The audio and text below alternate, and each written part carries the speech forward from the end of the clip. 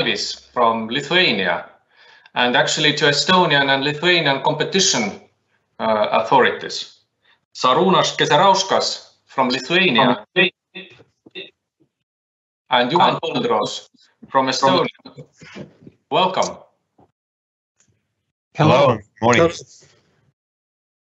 Hello, everyone. We are pleased to have our dear guest from uh, uh, national competition authorities. Um, uh, as Kaupo introduced, today we have uh, a representative from Estonia and Lithuania. And uh, First of all, I'd like to give the floor to Juhan, as he's going to cover some aspects actually, um, which relates to vertical agreements and Uh, past practice of the competition authority in Estonia, and maybe some some additional insights how things uh, is gonna gonna develop. So please, the floor is yours. Thank you very much. Um, and uh, First of all, I I would like to thank Sorainen for organizing this wonderful event. We really value every chance to spread the word of competition, so thank you very much for that. Um, Indeed, I will uh, give you some insight about uh, Estonian experience in vertical restraints, and uh, in particular, I'm going to talk about the price parity clauses. Um, for some reason, most of our activities regarding to vertical restraints have been about the price parity clauses. Uh, there has never been any strategic uh, decision to target that kind of restriction. It is just a matter of chance that that kind of cases have appeared on our table. Um, in particular, we have had um, four different um, price parity cases being uh, proceeded in the past couple of years. None of those cases have been formally uh, ended with a with a decision, but uh, rather the companies have withdrawn all the parity clauses from their contracts during the proceedings.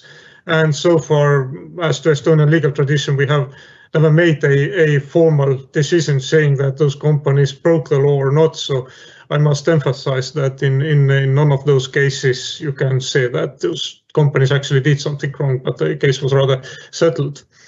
Um, all of those cases were concerning online sales. Uh, so indeed, um, I would say that um, online sales is the is the area where you can expect to have price parity clauses, and generally, they concerned narrow price parity clauses. As as Pipe explained, uh, there seems to be a very general consensus among European competition lawyers that uh, wide parity clauses are not okay. But as far as narrow parity clauses uh, go, it is it is something that is still evolving. The kind of economic thinking about it has not reached any any any kind of final conclusion, whether those are bad things or good things. And I my personal guess is that this is the way it remains. The cases are going to be up to their specific conditions to a very large extent. Uh, for example, uh, probably the best-known case in in Europe is the Booking.com case about price parity clauses. And um, it is a narrow price parity clause case, and um, there is an ongoing debate. Most notably, there is an ongoing court procedure in in Germany regarding whether the narrow price parity clause is okay or not. Now, there has been a lot of uh, talk today about the vertical block exemption, and indeed, the vertical block exemption, it does give some guidance about the the parity clauses. But by, my my personal belief is that uh, it probably is not going to have that much effect on the on the legal uh, handling of those. In particular, it seems that um, only companies with some degree of market power are in position to have the parity clause in the first place, because if you don't have any bargaining power, then it is very difficult to convince your business partners that have a parity clause in in the in the in the contract. It it seems to be um, something that uh, mostly is done by companies that are above 30% market threshold, which is a safe harbor according to the to the to the block exemption. Well, of course, Booking.com is way over over that. And also in our cases, in most cases, you can argue that those companies actually had stronger market presence that, uh, than, than the 30%. Um, and also, as, as I mentioned, um, there is, it is very, very difficult to design a very universal kind of rule how to tackle the narrow block, narrow, uh, narrow um, price parity clauses because indeed the merits of each individual case are rather different. The pros and cons are, are rather different. So one has to look at the specific case and, and uh, it is advisable and that kind of cases also to approach the competition authority so that we can we can look into it and give our give our opinion. Um, now, if you have a company, uh, online platform that um, that uh, engages into a uh, narrow uh, price parity clause and has some degree of uh, market power, then uh, what we have witnessed or what we have feared is that uh, this might have a, a kind of negative overall impact on, on the prices on the on the market. in particular, it means that, um, for example, if you think about the booking.com case, if, if there is a narrow parity clause in the booking.com contracts and the hotels themselves are not allowed to sell the product cheaper than it is on the booking.com platform, then one of the outcomes is that there isn't terribly strong uh, competitive pressure on the commissions by the booking.com. The booking.com is, is then relatively free to increase the um, um, commissions it has and then the, the hotels cannot uh, respond to it by, by increasing the price in the booking.com channel, which is which would be a normal thing to do if you have a, a, a distributor that charges a lot and the prices in this uh, channel are probably going to be uh, quite high in in, uh, in other circumstances. So um, that that is something that we have feared in Estonian cases. Uh, there has been um, Wolt has been one uh, one example that has been mentioned. For example, EasyNet is also that we have uh, investigated, and, and in all those cases we we have. Um, seen uh, as, as a negative impact the, the kind of overall effect it might have on the prices of the kind of uh, market.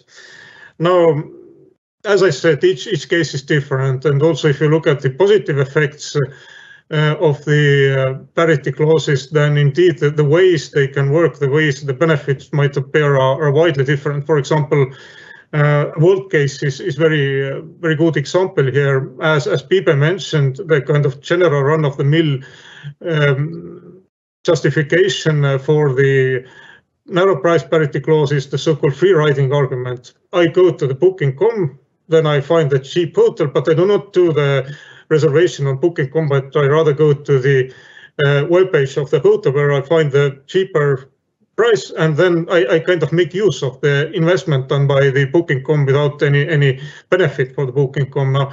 Now, and that actually has a very strong rationale in it. Uh, now, in in case of Wolt, we consider that it is very difficult to imagine the free riding uh, appearing in uh, food home delivery. If I found a good restaurant uh, on on Wolt.com case, then um, it's it's very difficult to imagine that I will will go and take the food out of restaurant directly, it would be a totally different service then. And there probably isn't that kind of competition uh, situation over there. Then in that case, indeed, we, we saw that the kind of justification is now much, uh, much lower. But as said, no formal decision was uh, done in uh, in that in uh, in the end, and uh, Wolt just withdrew the the uh, potentially harmful provisions from his contracts.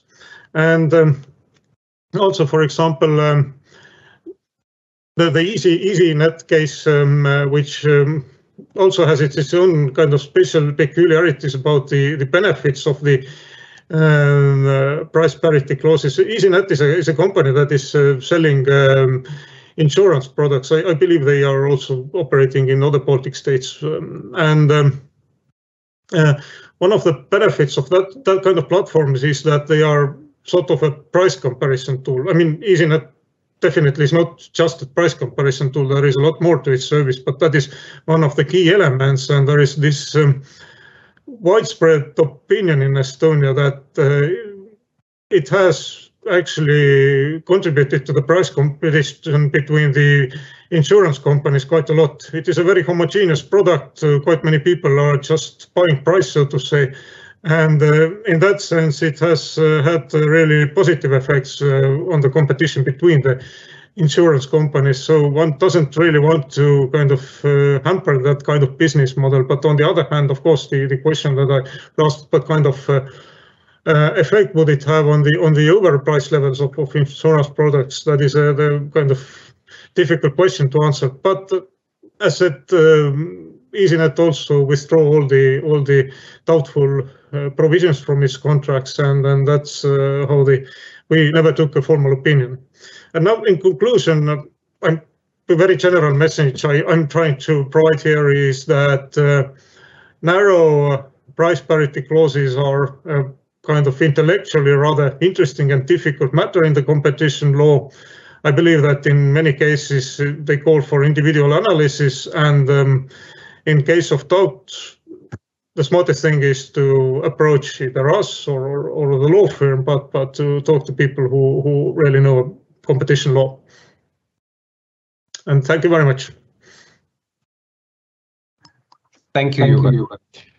And now, Šarūnas, could you please share your insights? And I know that one of, of the hot topics currently in Lithuania is actually merger control cases and especially yeah, it, in, in it is somewhat different from the main topic of this of this webinar but um, on the verticals though uh, what can i say? Um, we have never distanced ourselves uh, from the from the verticals. Uh, some of the past cases we had uh, they concerned uh, vertical restraints be that uh, uh, G4S and and banks, uh, the big case, uh, 2014. Then Maxima Mantinga, again RPM uh, clauses, uh, and distribution of of, of food. Um, and currently, we also have uh, two ongoing investigations. Uh, I will not change our practice and will not comment on those investigations. Uh, suffice to say, one of them is related to online sales, and we suspect a, resale price maintenance situation. So that, that's that's on the verticals. Uh, to sum up, I would say they've never been dead. They are alive, uh, and they may be, they will be rejuvenated with increasingly more businesses moving online. We already see that now. And of course, competition authorities uh, everywhere follow the markets, follow the businesses. And uh, uh, if needed, we will investigate or we, we will use, use advocacy measures to help to help businesses to comply uh, with competition requirements uh, in vertical relationships. Uh, but coming back to your question on mergers, uh, you're quite right. Um, this uh, this current year has been pretty uh, generous with uh, with mergers for us, uh, both in terms of uh, investigations, but also in terms of some interesting some interesting cases. So um, I don't know where to start because, uh, you probably know some of them. Uh, what's what would be most interesting? You know, uh, at least we had one question related to cinema market. So yeah. what's going on in cinema market? So I think it would be interesting because it's quite recent case. I don't know if you are in a position to comment on that, but probably you you can. Yeah, I and, can. Yes, and another thing which I think is rather sensitive. So the right of competition authority to initiate and to ask companies to file actually for merger clearance in those cases when when it is not um, yeah when it is not necessary let's say based on the current regulation or the thresholds are not met and here i think um, it is very important also to realize for the businesses what may happen afterwards, how to reverse the whole process yeah. after one year when everything is integrated and everything is running as a one unit. So what is your approach uh, with that respect? And don't you think that we rather would have some different regulation and maybe related not only to the thresholds, but maybe to the market shares? Because sometimes the the the the consequences could be very very very uh, upsetting probably for the business. So just please share your insights. What what Well, you look, uh, um, Uh, let me start uh, with the second question, and we'll Okay. move to uh, cinemas uh, later on because I don't know, maybe uh, uh, Juhan will have something to say because uh, I think uh, the cinema mergers was a, a Pan Baltic issue. Anyway, um, you're quite right. Uh, one of the uh, latest news on the on, on the merger front was our authority asking uh, a merger between uh, two online uh, two ticket uh, sellers to be notified to our authority. Um, as you said, that was a situation uh, where the merging parties did not meet the, the mandatory not- notification threshold threshold requirements. But uh, the, in Lithuania, at least, uh, there is a specific rule in the law that allows the competition authority to order a merger to be notified even when that merger is below the notification thresholds if as a result of the merger the authority suspects a dominant position could be strengthened or created or, or competition could be significantly significantly reduced so um, we have these powers. We have used these powers in the past, and uh, the most recent example is today with uh, uh, with ticket sales. Uh, it's an interesting point, by the way, on, the ticket sales. It's not it's not the first time that we use this power in this market. We did that uh, in 2017. Back then, uh, there was another merger uh, between ticket uh, uh, sellers. And that merger was also below the notification thresholds, which back then were even lower. We asked the merger to be notified. The parties did not agree, so we had uh, some uh, some uh, nice litigation. uh, after which the court said, "Yes, you have to notify. This decision cannot be appealed." And the parties did notify. We scrutinized the merger, and we let that merger go through. Now, uh, four years forwards, we have uh, a similar situation again, a merger between two ticket sellers uh, below the thresholds. We order notification. We established the notification de- deadline uh, for the 10th of December. So we'll see what happens. Um, I think this is an important power for the for the authority to have uh, because sometimes uh, competition problems can be created because of, as a result of mergers in some smaller niche markets. Um, so this tool allows us to investigate uh, these markets. It, as our history shows, this does not necessarily mean the uh, the inevitable uh, prohibition of a merger. Uh, the merger can still be cleared, but that means that we have some suspicions uh, about the effects of that merger. But Šarūnas, if if we could uh, actually um, come back to the question, let's say that um, you observe that such a merger has happened nearly a year and a half, and the companies have already integrated their activities. What is gonna be your role in assuring um, de facto, if so to say, the merger? Because uh, I believe that it's it's not so easy, and probably there will be some general obligation for the businesses to demerge. But are you going also into the details how this gonna be done in order to have really Well, real? that, that, that never happened, uh, but I'm not. I'm not. This is not to say that it will never happen, uh, because that is an obvious risk that uh, businesses carry when they merge, uh, and when their mergers are a below the thresholds for mandatory notifications, and b potentially raising some competition concerns. Well, here I see a great role, an important role for, for the business advisors and the businesses themselves, of course. They have to assess every merger, the, the potential risks of any merger. And one of the risks includes the risk of, uh, of uh, prohibition from the competition authority. Even in cases, in some jurisdictions like Lithuania, where the merger itself is below the notification threshold. So that is something for the businesses to self-assess. And uh, if the businesses decide to go through, well, then they carry this risk of potential demerger. And I agree, it's going to be very difficult if if that happens, uh, which is why the self-assessment should be very, very serious.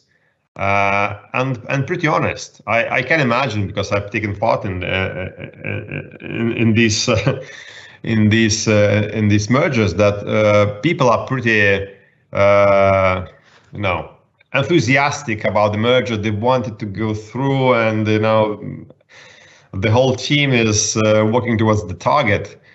Uh, and uh, somewhat uh, um, sometimes the the the, the views can be fairly optimistic. But I think the role of the lawyer or any other business advisor and economist uh, should be to cool things down and to say what could be well the worst case scenario and are we ready for this because yes if a competition authority like us in this uh, in a similar situation prohibits a merger, the first question will be, the first obligation will be demerger. And if you integrate too much, too quickly, that this is going to be difficult. And Šarūnas, uh, from general perspective, uh, maybe you see some general trends. I don't know if you compare like uh, mergers seven, five years ago, and mergers, merger notifications which you receive at nowadays, how it differs?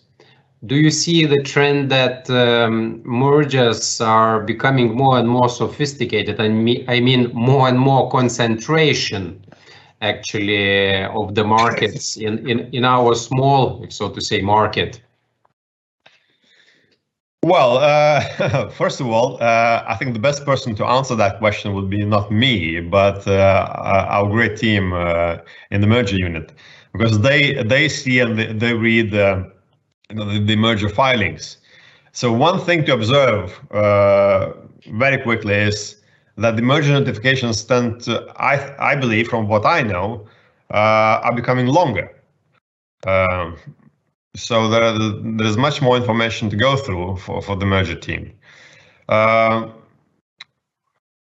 the second thing, and probably more importantly, is uh, that there are there seem to be more mergers raising some competition concerns. And uh, this is not something that is happening only in Lithuania the, there's probably a global worry about many markets becoming more concentrated. Uh, the worry comes from the consumer organizations, uh, from the politicians, from the competition authorities, academia, and so on and so forth.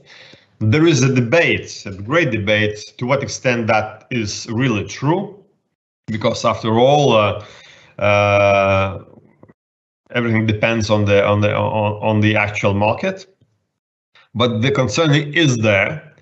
And so competition authorities are responding to that. And I can confirm that we see probably a larger percentage of, of notified mergers that raise competition concerns.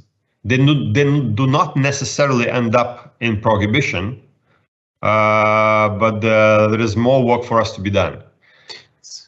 On the lawyer side, I think too, again, uh, I think um, law lawyers, uh, other business advisors play an important role in that, um, in self-assessment and in uh, honest recognition of potential problems. Because many problems, I would say, can be solved. Not all, but many can be solved if they are recognized early enough and if the businesses that merge come with the idea how to solve the problem. So in other words, Šarūnas, businesses should be prepared first thing for longer processes. And another thing, they they should be very careful with the self-assessment and they should be ready actually to be proactive and not not passive. And here I'd like to to come back to the initial also uh, question and maybe may ask Juhan first before Šarūnas is answering because as Šarūnas noted, uh, cinemas market uh, it it related to the to the Baltics actually, and um, I believe that uh, all all uh, competition authorities was dealing with this question. So maybe Juhan, are you in a position to comment on that? Can you unmute, please? Uh, thank you. Indeed, um, I believe the cinemas market has been a hot topic in, in most of the Baltic uh, uh, countries. Um, I, I, I, think it is safe to say that it is a peculiar market that has that is quite concentrated right now, but it has never been, to my to my knowledge, uh, very unconcentrated. It has always been the case that there are a couple of uh, big players in uh, in the Estonian market. And uh, what uh, the competition authority can do, and what we have been doing, is um, primarily uh, look at it from from the perspective of mergers. Um, twice in the history, two leading market players have tried to merge in Estonia, and uh, twice we have prohibited it, or frankly, they have withdrawn the applications, uh, knowing that we are going to prohibit. So that is that is the main tool that we we have been using. But uh, from there on, indeed, it, it is a somewhat worrisome market because um, the concentration is high, and um, and there uh, doesn't uh, well seem to be very easy market entry into it to make it more uh, more competitive. But one has to understand here that there is a difference in competition law. The the it it uh, forbids the abuse of dominant position, but it does not uh, forbid uh, the creation of dominant position. Dominant position as such is not illegal, and as far as it has been achieved by organic growth. There is nothing against it. But um, yeah, well, the first thing I think uh, as Estonian competition authority or any competition authority uh, can do here is is uh, is apply a very kind of strict approach in the, in the merger uh, regulation. And Šarūnas, what what was happening in Lithuania? Is it is it situation somewhat uh, similar to what Juhan explained, I mean, from the market definition perspective, from the market participants perspective, and what was the outcome? Uh, as you know, Davis, uh, we have a long history uh, of enforcement action in in the in anything related to cinema. It's not only because we like cinema, uh, but we had a prohibited agreement uh, uh, investi- cases, and of course we had merger cases. The last one of which was the the the Pan Baltic merger that would have resulted in uh, a merger of uh, Forum Cinemas and Apollo uh, cinema theaters in Lithuania. You mentioned in your in our previous uh, exchange of ideas that uh, well, you asked the question: Should businesses be prepared for longer uh, investigations, merger investigations? Not necessarily so. That, to a large degree, depends on businesses themselves. If the businesses come ready, having done their homework, I don't see a reason why the investigation should necessarily be long. Of course, there is there is one uh, one thing that neither we as competition authority nor, nor the merging parties can control entirely. That's uh, the the market, the other market players, uh, the, the the the customers or the buyers of the merging parties. Because as part of our analysis, uh, as part of our investigation, we do send questionnaires uh, to the market, asking them about the situation there. So it is difficult, admittedly, to control the responses from the market. Uh, but but that is again a risk. Um, but in, uh, coming back to cinemas, uh, that merger investigation took a pretty long time, mostly because uh, when we send a, a round of questionnaires uh, to the merger merging parties, they were not able to provide the, the necessary answers on time. So the merger had to be suspended, but even that was not enough. Uh, and uh, at the end of the suspension period, the, the parties admitted that, that they, they would not be able, uh, uh well, to provide information and that they lost, uh, in a way, interest. So uh, all we had to do, we only had one option remaining to terminate the administrative procedure of uh, of merge investigation because we did not have sufficient information to to assess the merger. So that merger cannot go through in Lithuania. That's the current situation. Okay. So no big cinema, no big conglomerate in the Baltics. Uh, no big conglomerate in the Baltics. and uh, very briefly, uh, uh to finish uh, off on on, uh, on mergers, we have another big saga related to Cgates. Cgates, provider of internet services, wanted to acquire a company operating in the in the northern region of Lithuania back in 2019, they, they filed the first uh, merger notification. Uh, after our preliminary findings, they decided not to go through with the merger because the findings were negative, and uh, well, they decided not to not to challenge them. That merger filing led to us opening an investigation over the uh, suspected submission of incorrect and incomplete information. And we issued an infringement decision this year that relates to, to that investigation that we started back then. And we found that Cgates uh, uh, provided incomplete and incorrect data uh, as part of the merger notification process.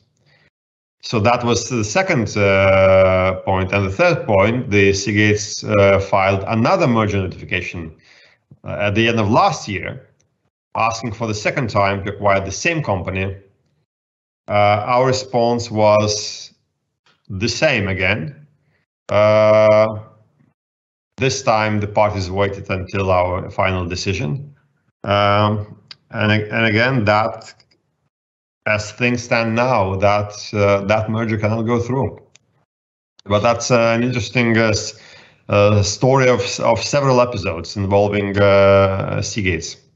Šarūnas, from what I hear, it is uh, probably very obvious that the role of uh, of business, the role of their consultants, is really important in those um, in those processes, and the professional advice, of course, may may reduce the risk of such uh, such a processes infringement for provision of improper information and, and similar things. And here I'm, I'm very sorry, we're running out of our time. We have two minutes remaining. And um, I'd like to thank you all for participating in, in this event. I know that it's never enough time actually uh, to to touch upon all the um, important uh, important aspects. Uh, so thank you very much once again. Uh, we hope to see each other um, in the in the in the future. And here I pass the floor again to Kaupo, who is supposed to to to make a closing remarks or at least one remark. Uh, yes. Uh, uh, also, thank you, thank you, Šarūnas, and and thank you, Juhan. thank you for this open open discussion. This is a tr true um, true open administration of 21st century where authorities actually contribute to the dialogue and, and we, we really appreciate that. So, but uh, this is this is now my, my, my sad duty to conclude this uh, webinar. Uh, I, I hope you all found this uh, webinar uh, useful. Uh, we remain open to your feedback to the to the webinar and also proposals for uh, for next uh, next uh, webinars. Uh, what, what would be the topics to cover during the next webinars? All our presentations, these will be published. We are happy to help you with specific questions, uh, but we're happy to respond to your specific specific questions. But we hope we have clarified many things in the in the questions and answers Uh, form as well. So, so thank you. Have a nice day. Stay safe. And as the modern times saying goes, stay negative. Have a nice day. Cheers. Thank you. Bye bye. Bye. Have a good day. Bye.